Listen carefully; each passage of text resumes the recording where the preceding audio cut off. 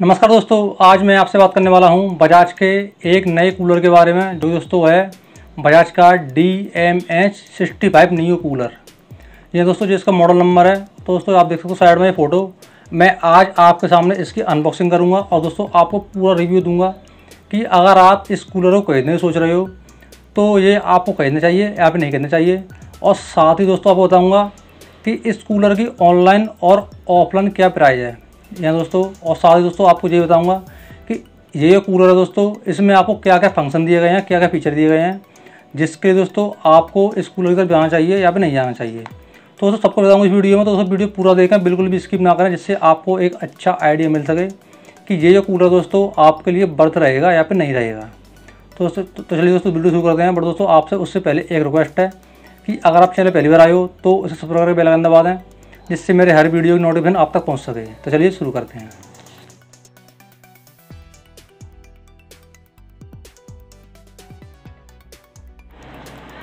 तो दोस्तों ये है बजाज का कूलर जो मैंने फ़्लिपकार्ट से मंगाया है। अब मैं आपको दिखाता हूँ इसके फ़ंक्शन के बारे में। तो दोस्तों ये जो पहला स्विच है। ये है फ़ैन को तेज़ करने का स्लो करने का अभी जो ऑफ़ पर है, ये बिंदी देख रहे हो आप, जो ऑफ़ है। जब आप इस पर यहाँ से कर दोगे तो ये फुल पे है। ये सेकंड है और जो दोस्तों फ़र्स्ट है। यानी कि ये काफ़ी स्लो है। इस तरीके दोस्तों चलता है। और तो दूसरा जो जो बटन है, ये दोस्तों पंप का, पानी की मोटर का। अभी ये बंद पर है, अभी जब इसे इसे ऑन कर दोगे तो आपके कूलर में पानी की मोटर ऑन हो जाएगी। और तो तीसरा ये वाला है, ये स्विंग करने का। है यानी दोस्तों जो आपको दिख रहा होगा, ये पंखड़ी दिख रही हैं आपको ये वाली।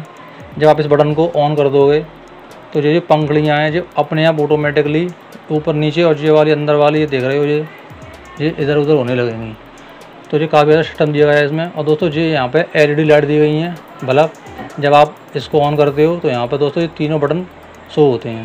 ये तीनों बटन दोस्तों यहाँ पे जलते हैं ऐसे ही। अगर आपका कूलर ऑन है तो यहाँ पे ऑन वाला जल जाएगा। और दोस्तों जो पानी वाला है, अगर आप पानी ऑन करते हो तो यहाँ पानी का ये बटन ऑन हो जाएगा। और ये स्विंग वाला है, जब आप इस इस वाले को ऑन करते हो तो इसमें लाइट जल जाएगी। तो दोस्तों ये इलेक्ट्रॉनिक सिस्टम दिया गया है इसमें। और दोस्तों दिया गया है ऊपर एक बॉक्स इसमें क्या है, मैं आपको दिखाता हूँ। इसको ओपन करता हूँ पहले। दोस्तों, देखिए, इसमें ये पहिए दिए गए हैं। इसमें कूलर के नीचे लगाने के लिए, जिससे दोस्तों आप इसे आसानी से कहीं भी ले जा सको, इधर उधर कर सको। क्योंकि दोस्तों, हम इसमें इसमें पानी भर देते हैं तो उसका वज़न ज़्यादा हो जाता है। तो वज़न होने के कारण आप इसे उठा नहीं सकते। बट जब आप इसमें पहियों को लगा दोगे तो ये कहीं पर भी आसानी से चला जाएगा ट्रक के। और दोस्तों, जो बॉक्स है इसमें दोस्तों आप आइस क्यूब डाल सकते हो, यानी बर्फ़। बर्फ़ के तोड़ डाल सकते हो। तो उससे क्या होगा कि जब आप इसे ऑन करोगे, बर्फ़ के तोड़ डाल के तो दोस्तों ये थोड़ी एक्स्ट्रा कूलिंग देगा आपको। तो काफ़ी अच्छा सिस्टम दिया गया है इसमें। अब दोस्तों मैं आपको इसकी बैग दिखाता हूँ। दोस्तों इसमें जो आपने देखा होगा कूलर के अंदर जो घास लगी आती है, दोस्तों इसमें ऑनी कैप दिए गए हैं। यानी दोस्तों जो काफ़ी अच्छी क्वालिटी के होते हैं। जब इनमें दोस्तों पानी जाता है तो ये काफ़ी कूलिंग करते हैं ये, काफ़ी ज़्यादा ठंडे हो जाते हैं। क्योंकि दोस्तों, इनकी क्वालिटी काफ़ी अच्छी होती है घास के कंपेरिजन में, जो घास होती है दोस्तों, उसके कंपेरिजन में इनकी क्वालिटी काफ़ी ज़्यादा अच्छी होती है। दोस्तों, जो बटन दिए गए हैं, जब आप ऐसे खोलोगे, पेचकस लगा के कैसे भी तो जो बॉक्स जो है खुल जाएगा। तो मैं अभी खोल के नहीं दिखा रहा, मैं सिर्फ़ आपको एक डेमो दिखा रहा हूँ। और दोस्तों, इसकी ये केबल है पीछे। देखिए।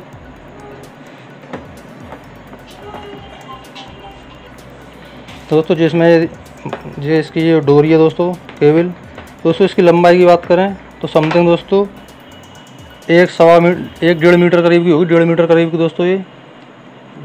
तो दोस्तों, इसकी केबल का ज़्यादा बड़ी नहीं है। और दोस्तों, इस बार इस कूलर में ये स्विच दिए गए हैं जिस पर दोस्तों आप डोरी को आसानी से लपेट सकते हो, जब आप इसे कहीं पे ले ले जाना चाहते हो अपने रूम से बाहर। तो इसमें आप अपनी डोरी को लपेट सकते हो जो एक्स्ट्रा इसमें बटन दिए गए हैं।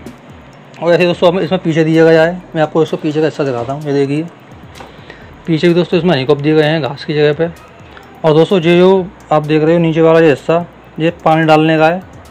दोस्तों आप इसमें से अपने मग्गे से या किसी भी चीज़ से इसमें पानी डाल सकते हो। दोस्तों ये भी पंखड़ियाँ इसमें दो बटन दिए गए हैं, जिन्हें आप अपने हिसाब से, अपने मुताबिक जब आप स्विंग को ऑन नहीं करोगे तो आप अपने मुताबिक इसे किसी भी पोजीशन में रख सकते हो। और दोस्तों जी जो नीचे आप देख रहे हो ये वाला ये ये ये दोस्तों पानी का बताने का है कि जहाँ पे इधर पानी भर दे हो तो वहीं तक दोस्तों इसमें पानी दिखता है। और दोस्तों ये सबसे ऊपर वाला है का यहाँ तक अगर दोस्तों पानी हो जाएगा तो यहाँ पर सो हो जाएगा आपने कहाँ तक पानी भरा है? तो दोस्तों ये अच्छी चीज़ है कि आप पानी भर में इसमें पता लगा सकते हो कि आपने पानी कहाँ तक भरा हुआ है। और दोस्तों जो इस साइड में एक बटन दिया गया है, ये वाला, जिसमें दोस्तों आप पानी का पाइप लगा के डायरेक्ट इसमें पानी भर सकते हो। आपको बाल्टी से या मग्गे से पानी भरने की ज़रूरत नहीं है। आप इसमें डायरेक्ट पानी का पाइप लगा के अपनी मोटर से पानी भर सकते हो। और अगर दोस्तों इसमें एक्स्ट्रा पानी भर भी जाता है तो इसके पीछे की साइड में, इस साइड में, पीछे साइड में एक नीचे बटन दिया गया है। उसमें दोस्तों आप दबा के उसका एक्स्ट्रा पानी जो है निकाल सकते हो। अब दोस्तों मैं आपको इसे ऑन करके दिखाता हूँ। तो दोस्तों देखिए मैंने इसमें लाइट का कनेक्शन कर दिया यानी इसका प्लग बोर्ड में लगा दिया ये देखिए दोस्तों। अब मैं आपको इसे ऑन करके दिखाता हूँ। दोस्तों जैसे दोस्तों मैं आपको बताया था, ये देखिए। आप इसकी आवाज़ सुन सकते हो। देखिए काफ़ी तेज़ आवाज़ है इसकी, आप इसकी आवाज़ सुन सकते हो। साउंड का, इतना हैवी साउंड नहीं है। और मैंने कंपेयर करके दिखाता हूँ। तो ये दोस्तों सेकंड को हो चुका है। ये देखिए, अब दोस्तों लो को हो चुका है। तो दोस्तों, मैंने इसमें अभी पानी डाला है तो मैं आपको पानी की मोटर ऑन करके नहीं दिखा सकता। बट तो दोस्तों, आपने देखा कि ये जो कूलर है, ये दोस्तों, इसकी ऑनलाइन प्राय दोस्तों साढ़े नौ हज़ार से लेकर दस हज़ार रुपये के बीच की। जो दोस्तों, सौ दो सौ रुपये ऊपर नीचे होते रहते हैं। वहीं दोस्तों, अगर आप इस कूलर को अपने ऑफलाइन मार्केट से खरीदते हो तो दोस्तों, ये जो कूलर है, आपको हर दुकान पर अवेलेबल नहीं मिलेगा, ये हर किसी के पास नहीं मिलेगा, क्योंकि दोस्तों, ये ऐसे कूलर जो होते हैं, ये हर कोई नहीं रखता। आपको नॉर्मल कूलर मिल जाएँगे, जो दोस्तों आपने देखे होंगे, जैसे हम असेंबल करवाते हैं। बट अगर आपको ये कूलर चाहिए तो आप इसे फ्लिपकार्ट से डायरेक्ट कह सकते हो। इसका लिंक आपको नीचे डिस्क्रिप्शन में मिल जाएगा। और अगर ये कूलर आपको बाज़ार में मिल भी जाता है तो दोस्तों ये आपको मिलेगा दस से बारह हज़ार की रेंज में। और दोस्तों ये है मेरा, इस कूलर का बिल आप देख सकते हो। शायद आपको डिस्प्ले साफ़ नहीं दिख रहा होगा लाइट की वजह से। बट दोस्तों ये इसका बिल है, जिसमें दोस्तों मैंने इसको नौ हज़ार सात सौ रुपये, नौ हज़ार आठ सौ रुपये का ख़रीदा है। और दोस्तों ये है, इसका वारंटी कार्ड एक साल की वारंटी है दोस्तों इसकी। बट दोस्तों मैं तीन सौ निन्यानवे रुपये एक्स्ट्रा दे के इसकी दो साल की वारंटी एक्स्ट्रा ली है।